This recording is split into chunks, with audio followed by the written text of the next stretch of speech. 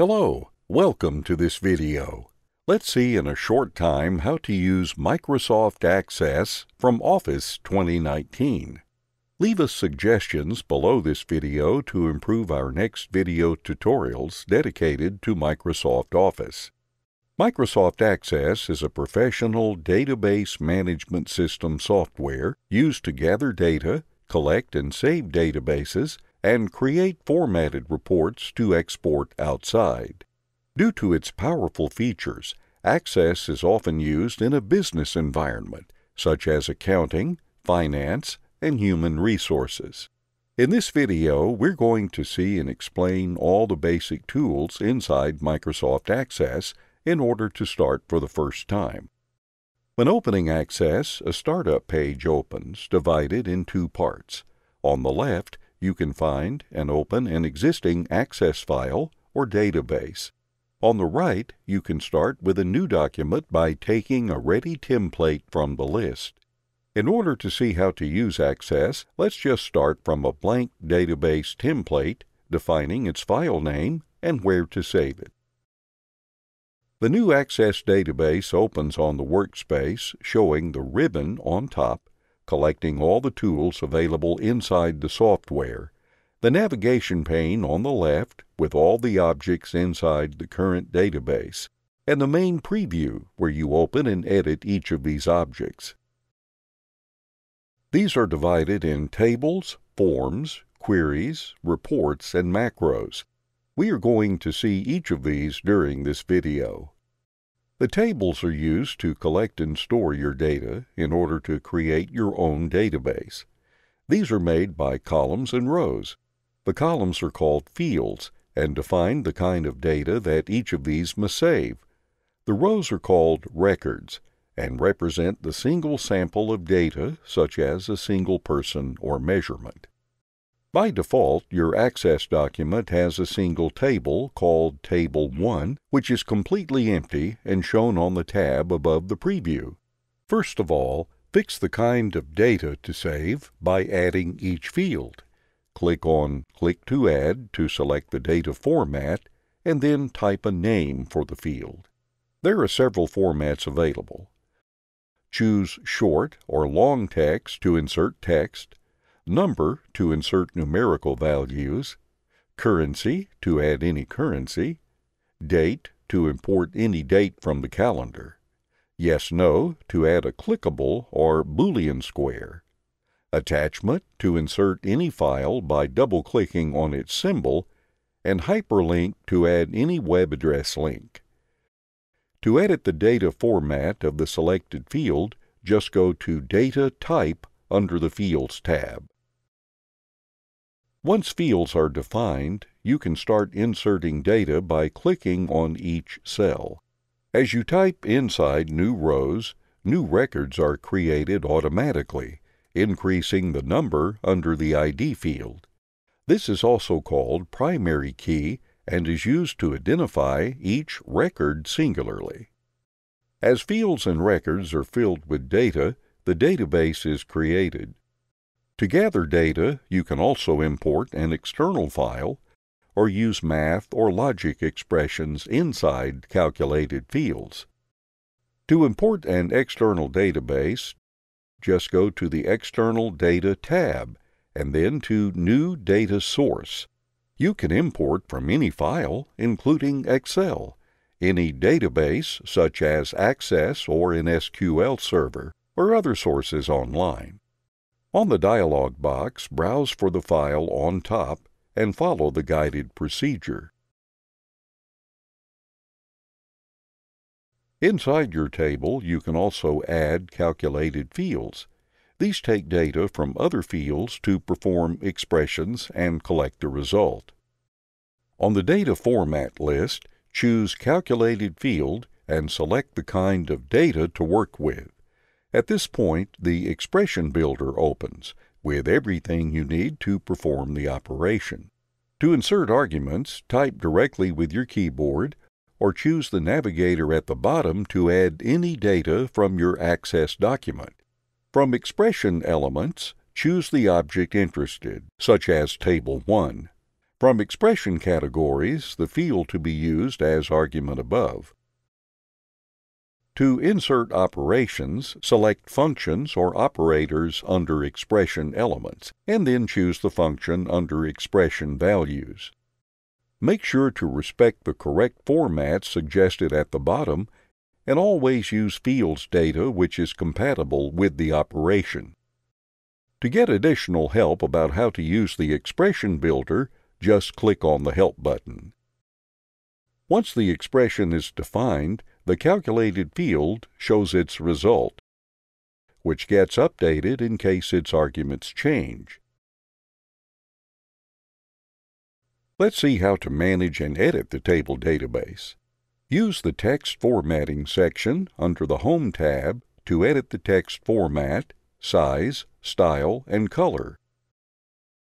Use the Fields tab to add new fields with a selected data format. Delete the selected field, or use Default Value to fix a default value with the Expression Builder. Use the Table tab to make the table interactive by adding scripts and macros. We're not going to see these in this tutorial. To rename and size a field or modify its expression, just right-click on its name above. In the bottom right corner, you can select the view to use. By default, you use the Datasheet view, but you can switch to the Design view to manage all the properties for each field in detail, such as data type, format, and more. To save and close the table, just right-click on its tab above. You can double-click on it from the navigation pane to reopen it, and rename or delete it by right-clicking on it from the list. To create another table database, just go to Create and then to Table or Table Design. The new table will show up on the workspace under a new tab and added inside the list on the navigation pane. The form objects are pages that are sent to people or directly online. This is compiled in order to collect new data and extend your table database with new records. To create a new form, open the table interested and go to Form under the Create tab. This form gets the same name and content from the table. Each record is a page inside the form showing all the compiled fields imported from the table. You can check all the records by using the navigation buttons at the bottom. The last record page is blank and is used to save new records inside the form and its table. Also, in case of the forms, you have several views available. Use Layout View and its Form Layout tools to adjust the form layout and its basic structure. By default, the form is made by several cells or elements contained inside two columns and as many rows as the table fields are. You can use the options under the Arrange tab to add, remove rows or columns, or split merge any selected cell. Under the Design tab, enable the Select tool to move an element by clicking and dragging it or size it by selecting it and dragging its edges. You can also right-click on an element to manage or delete it. Go to Properties to open the Property Sheet panel on the right and edit its properties in detail. Use Themes to apply a ready template on the form appearance. Inside Controls, you can add other extra elements besides the fields imported from the table, such as text boxes, images, buttons, pages, and lists. These can become interactive when macros and expressions are added through the property sheet options. We're not going to see these in this video. Use the Format tab to adjust the content appearance, such as text properties, distribution, color and cell outline, and fill. Consider that all these modifications affect all the elements selected from the form. You can make multiple selections by clicking on the elements by holding down the Control key. To preview the form, use the Form View. This shows the form as it is when it is compiled or shared. You can use the last record to interact with the form. Use the Design view to adjust the form layout in terms of page size and distribution. The form is divided in page header, detail, and footer, and can be edited on the preview or through the form design tools as seen on the layout view. The query is another important object used to retrieve data and create custom databases starting from the tables you already have saved. To create a query, click on Query Design under the Create tab. This opens on the workspace asking for the tables to take data from. Click on one to import a table and hold down the Control key to add multiple ones. These tables show up as small boxes on top, complete with their name and their fields inside, including the primary key. You can add other tables by going to Show Table under the Design tab above. At the bottom, choose from Field the data and the tables to consider. You can select a single field represented with its table name, a dot, and then the field name. Or select a whole table with its name, a dot, and an asterisk. Below, choose the criteria to use when collecting or excluding data on the query. This is specified through one or more expressions in series inserted by right-clicking on any criteria cell and then going to Build to open the Expression Builder. Also, the query has different views. The default design view sets the content and the criteria to realize the query through a very easy interface. You can switch to the SQL view to build your query by using an SQL code instead.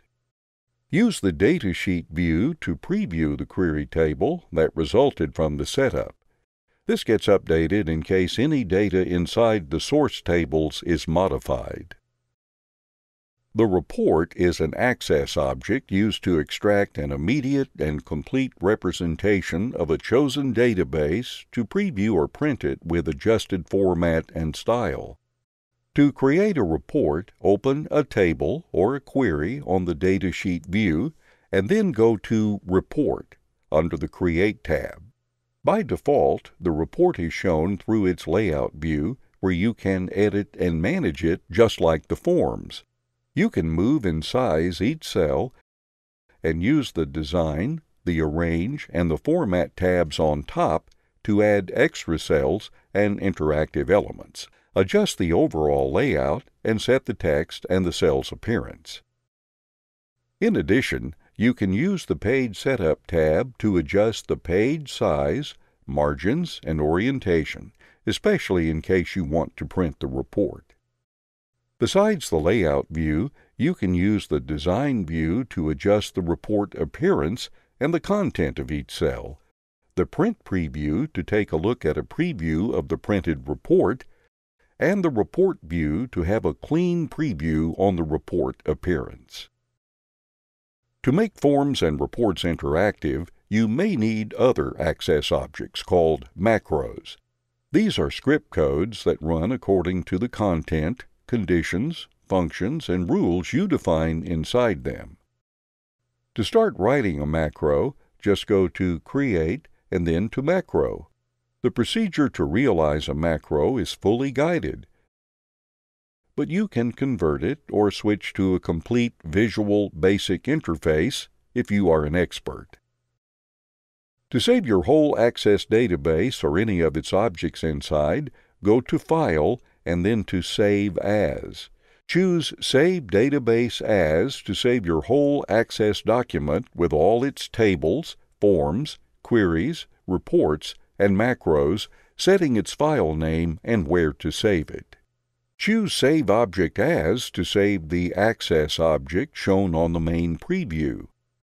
In addition, you can go to the External Data tab and then to Export to export the current Access object to Excel, text files, PDF, XPS documents, emails, SharePoint list, and other Office programs such as Word or Access. Check out our video description to learn more about how to publish an Access database. Thanks for watching this video. Discover and subscribe to our channel to learn more about other great programs inside Office 2019.